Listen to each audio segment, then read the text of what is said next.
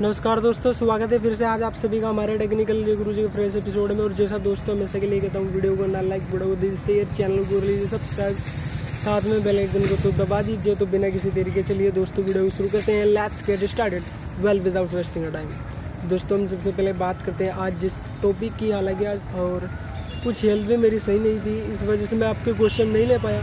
उसके लिए सॉरी और यहाँ पर जो क्वेश्चन मैं आपको बताने वाला हूँ ना, वो सबसे पहले क्वेश्चन होगा खास, बहुत ही आपने पूछा था हेड टैग डालकर कि ओप्पो का ए वन के लेना चाहिए या फिर आएगा, नहीं आएगा इंडिया के अंदर। इसकी पूरी पूरे चांस है इंडिया के अंदर आने के और यहाँ पर ओप्पो है ना, काफ़ी अच्छा काम भी करता है कहीं कहीं निराश भी करता है। ऑल जो वीवो है ना, वो उससे बेटर काम करता है। हालाँकि जो डिस्प्ले में डिफरेंस मिलता है, आपको दोनों ही काम करते हैं सैमसंग के थ्रू इंडिया के अंदर। तो अपने आप में काफ़ी अच्छी बात करते हैं, लेकिन अभी हम इसके स्पीकेशन के बारे में बात करते हैं। So let let's get started और जो टॉपिक है ना भाई साहब ओप्पो ए वन के इतना डिफ़िकल्टी नेम है। हालाँकि ये चाइना के अंदर लॉन्च हो चुका है और इंडिया के अंदर कब तक आएगा, इसके बारे में कोई कंफर्मेशन नहीं है, जैसे ही आएगा ना। बहुत जल्दी आने वाला है। टीज भी किया हुआ है इन्होंने। उन्होंने टीज किया है चाइना के अंदर coming to soon in India तो ये अपने आप में काफ़ी अच्छी बात है। लोग देखते हैं कि कितनी जल्दी आता है ये इंडिया के अंदर। और यहाँ पर जो स्पीकेशन है डिटेल्स हैं, वो अपने आप में काफ़ी जानदार है। अगर हम बात करते हैं सबसे पहले इसके डिस्प्ले की 6.1 इंच का एक एच डी प्लस डिस्प्ले आएगा। कोर्निंग गोरिल्ला ग्लास की प्रोटेक्शन है, लेकिन ये अभी पता नहीं चला कि थ्री की है फाइव की है फोर की है। हालाँकि ये एक बजट फ़ोन है तो मुझे जहाँ तक लगता है थ्री ग्लास का प्रोटेक्शन मिलेगा, लेकिन रेडमी भाई छक्का मार जाता है वहीं पर। तो रेडमी के बारे में मैं क्या बताऊँ? दोस्तों, आजकल मार्केट के अंदर जो नाम है ना, वो रेडमी का है।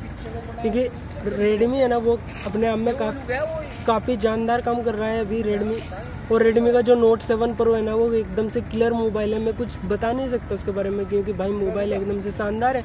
और रेडमी नोट सेवन भी काफ़ी अच्छा मोबाइल है। लेकिन ये बात नहीं है कि हम कह सकते हैं कि ओप्पो वीवो बेकार है।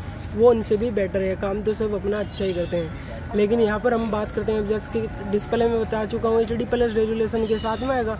कोई उम्मीद मत करना कि आप एफ़ एच डी रेजुलेशन के साथ में आएगा तो फिर मोबाइल लेने लायक नहीं रहेगा और जो प्राइस आती है निकल कर बाहर इंडिया के अंदर, वो आती है भाई नौ हज़ार नौ सौ निन्यानवे, यानी कि दस हज़ार रुपये।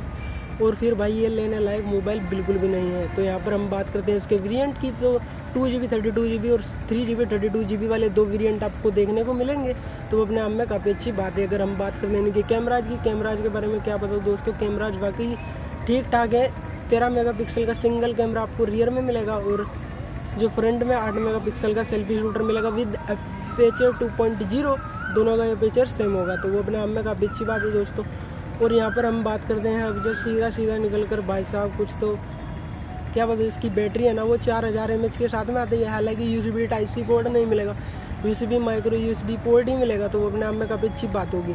अगर हम बात करते हैं दूसरे अपडेट की तो दोस्तों वो आता है सीधा सीधा मैं बताऊँ, आपको कुछ नहीं है, बस खास इस मोबाइल के अंदर जो मैंने आपको बताया डिस्प्ले ठीक है बैटरी ठीक है ऑल जो इसका चिपसेट है, वो आता है MediaTek Helio P twenty two chipset वो आता है ट्वेल्व नैनोमीटर पे। भाई, किस ज़माने में जी रहे हो? आज के दौर में ऐसा बिल्कुल भी नहीं है। मोबाइल कतई भी लेने लायक नहीं है। तो दोस्तों, यही है, अभी तो इसकी सारी कहानी इसी ओप्पो ए वन के को लेकर। तब तक ले, क्या बताऊँ मैं, बस कुछ कह नहीं सकता। मोबाइल ठीक ठाक है three thirty two G B भी आता है। फन टच ओएस के साथ में आएगा। और जो ओरियो मिलेगा भाई साहब, आज की डेट में भी आप ओरियो प्रोवाइड कराते हो हमें। फन टच ओ की यू आई लेयरिंग दी गई है फाइव पॉइंट ज़ीरो की। तो अपने आप में काफ़ी अच्छी बात है उल्ले यही है सारी कहानी और जो प्राइस जाती है नौ हज़ार नौ सौ निन्यानवे को। तो दोस्तों, बस फ़िलहाल के वीडियो इतना ही देखने के लिए बहुत बहुत धन्यवाद। अगर वीडियो पसंद आई, वीडियो को लाइक करना, वीडियो को शेयर करना चैनल को सब्सक्राइब करना, साथ में बेल आइकन को तो दबा दीजिए। तो दोस्तों, बस देखने के लिए बहुत बहुत धन्यवाद। जय हिंद, वंदे मातरम।